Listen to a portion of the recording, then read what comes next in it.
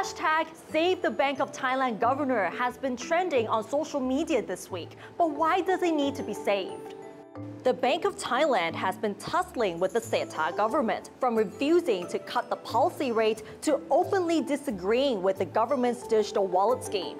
But it came to a head when Paetongtarn Shinawatra, head of the ruling Pheu Thai party, openly criticized the central bank's independence from government control as being an obstacle to its efforts to address economic problems. She even accused the central bank of mismanaging fiscal policy, which has resulted in the steady rise of public sector debt.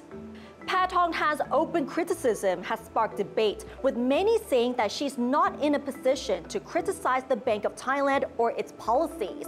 Some people even wondered who wrote the script for Paetongtarn. The first to speak up for her was, of course, Prime Minister Srettha Thavisin. He said that Paetongtarn was merely reflecting the struggles of the people and the business sector over high interest rates it has even sparked rumors that the Thai-led government may sack the current central bank governor or amend the law to strip the bank of its independence. As a result, the hashtag Save the BOT Governor trended on social media.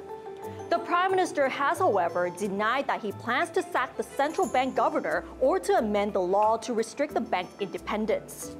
And that's all for today. You can follow us on social media and our website, thaipbsworld.com for all the latest updates about Thailand.